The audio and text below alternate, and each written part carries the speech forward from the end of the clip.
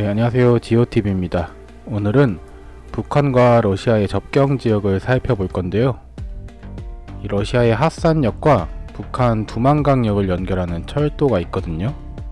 올해 러시아가 극동 지역에서 북한으로 가는 여객철도 서비스를 개시할 것 같다는 뉴스가 있습니다.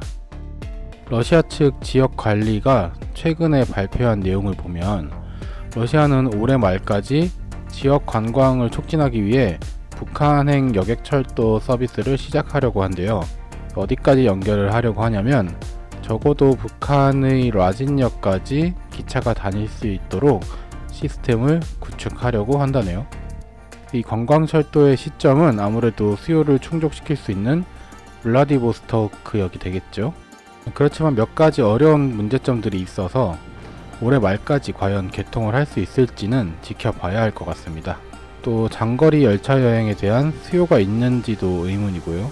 관광을 위한 열차라면은 고작 나진까지 연결을 해서는 수요가 있을지 모르겠어요.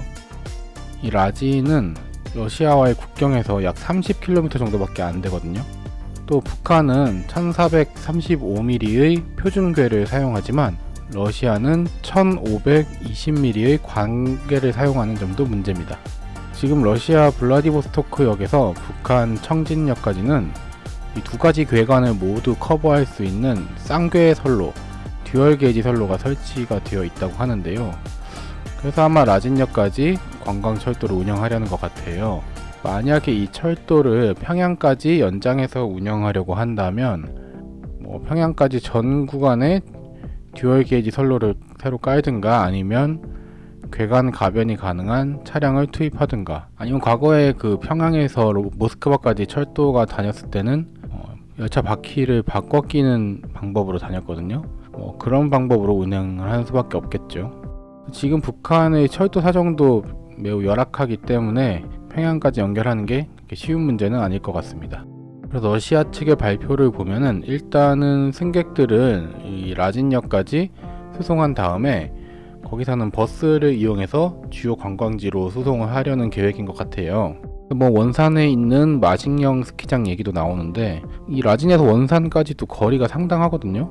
보시면 선거리로만 450km 가까이 되는 곳인데 과연 그렇게까지 해서 관광을 하려는 수요가 있을지 의문이 들기는 합니다. 그럼 러시아와 북한의 국경 구간을 운행하는 철도를 한번 자세히 살펴보겠습니다.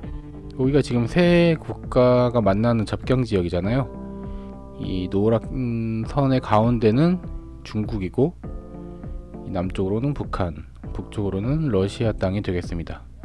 그래서 중국이 이렇게 길쭉하게 북한과 러시아 사이에 땅을 차지하고 있는데 여기를 관광지로 개발을 한 것 같아요 보시면 음, 이런 탑 같은 것도 세워놓고 중국과 러시아와 북한의 국경지다 해서 관광지로 개발한 모습이에요. 네, 이렇게 러시아와 북한의 국경 지역에 이런 탑 같은 걸 세워놓고 관광지로 개발한 중국의 모습이고요. 이걸 보여드리려는 게 아니라 바로 북쪽에 보시면 여기가 러시아의 핫산역입니다. 이 핫산역은 러시아와 북한의 국경에 있는 역인데요.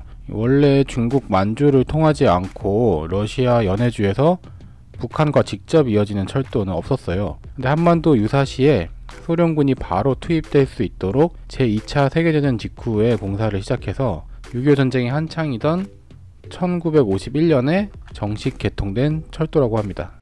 이 러시아의 철도는 광궤인 반면에 북한 철도는 표준궤이기 때문에 과거에는 여기서 대차라고 하죠. 이 절차 바퀴를 갈아 끼우는 그런 절차가 필요해서 유독 이곳에서 정차를 오래 했었다고 해요. 그런 대차 시설도 갖춰져 있는 핫산역입니다.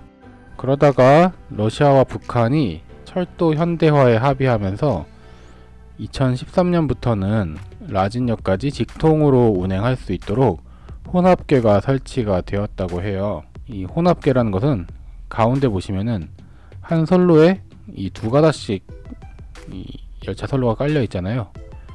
그래서 이 러시아 쪽 열차도 다닐 수 있고 북한 쪽 열차도 다닐 수 있도록 두 가지 이 괴관을 모두 커버할 수 있는 선로인 거죠. 아무튼 여기는 북한과의 접경 지역이기 때문에 그런 월북이나 납북의 위험성이 있어서 우리나라 관광객들은 함부로 접근해서는 안 되는 그런 곳이고요. 여기서 사진 촬영도 함부로 할 수가 없다고 합니다. 경 앞에 이런 경비대 검문소 같은 것도 보이죠. 원래 매주 화요일과 금요일에 두만강역으로 가는 열차가 있어서 북한 근로자들을 수송했다고 하는데요. 코로나 이후에는 그마저도 끊긴 상황이라고 합니다. 과거 평양에서 모스크바 구간을 월 3회 운행하던 국제 열차가 통과한 역이기도 하고요. 2023년에 열린 북러 정상회담 때 김정은 위원장이 여기서 잠깐 내려서 머물기도 했다고 해요. 그래서 열차가 이렇게 북한 쪽으로 넘어오면 바로 있는 역이 바로 여기 두만강역입니다. 이 두만강역은 북한 라선시 선봉구역 두만강동에 있는 철도역이고요. 이 역에서 두만강까지의 거리는 약 700m 정도 된다고 합니다. 여기도 핫산역과 마찬가지로 괴관 가변 대차 시설이 설치된 역이고요. 우리나라 부산진역에서 출발한 동해선 철도의 공식 종점이 바로 이 두만강역이기도 합니다. 또 한반도에서 가장 동쪽에 위치한 역이라는 그런 타이틀도 가지고 있는 바로 두만강역이네요. 북경에 위치한 역이라 그런지 뭐 시설도 많고 선로도 많이 깔려 있는 그런 모습이었고요.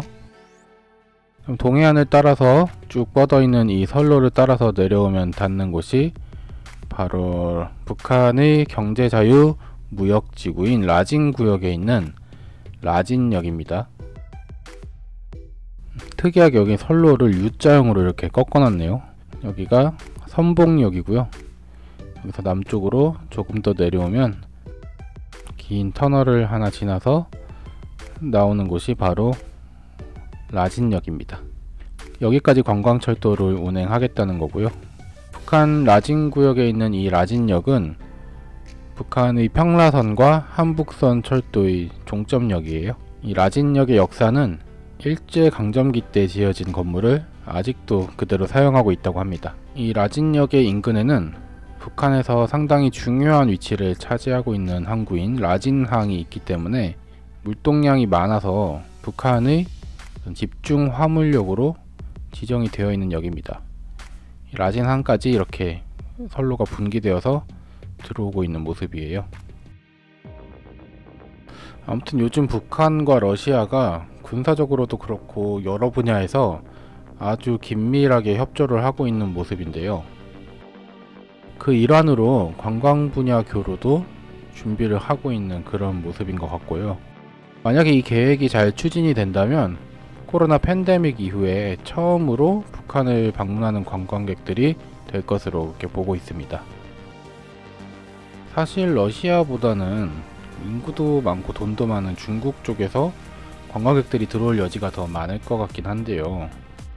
뭐 중국 관광객들도 사실 불편하게 북한 기차를 오랫동안 타고 관광을 해야 한다고 하면 올 사람이 그렇게 있을지는 의문일 것 같다는 생각이 드네요. 그래서 뭐 지금 러시아와의 교류 협력 차원에서 상징적인 프로젝트로 이런 철도 연결도 추진되고 있다고 봐야 할 것 같아요.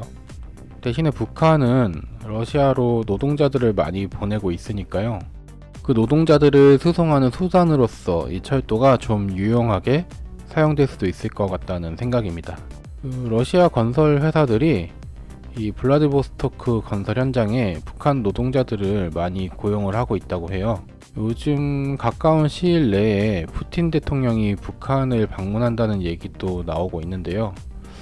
그만큼 북한과 러시아의 관계가 급속도로 가까워진 상황인데 최근 북한이 서해로 계속 미사일을 발사하고 있는 것을 보면 아무래도 러시아로부터 미사일 기술을 넘겨받아서 계속 시험 발사를 하고 있는 것으로 봐야 할 것 같은데요.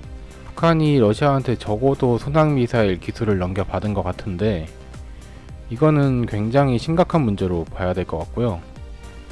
우리 안보에도 대단히 큰 위협이라서 걱정이 큰 상황입니다. 네, 오늘 영상은 여기까지고요. 모두 편안한 하루 보내시길 바랍니다. 감사합니다.